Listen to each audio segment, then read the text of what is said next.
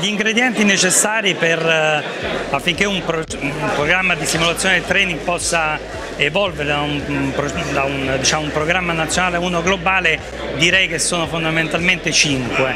Prima di tutto la conoscenza, dobbiamo conoscere di che cosa stiamo parlando e no, qui non dobbiamo fare altro che eh, riportare in ambito medico le esperienze extramedicali, prima di tutto le esperienze in ambito eh, di aviazione e sportivo, dove la simulazione diciamo, l'ha fatta da padrona negli ultimi eh, 30 anni. Secondo direi le competenze, bisogna eh, individuare le persone giuste che possano eh, con competenza seguire un processo di questo genere. Terzo direi l'organizzazione e per organizzazione intendo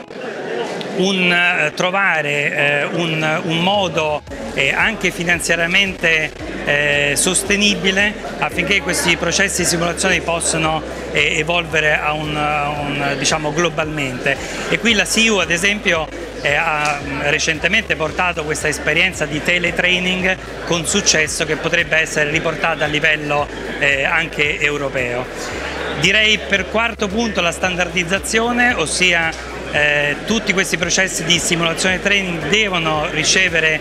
un, eh, diciamo una standardizzazione in ogni loro step e per ultimo, perché penso che ad oggi non possiamo farne a meno, i finanziamenti. Probabilmente anche il privato dovrà entrare nel finanziamento di questi eh, programmi di simulazione per aiutare le università nei programmi di formazione dei loro specializzandi.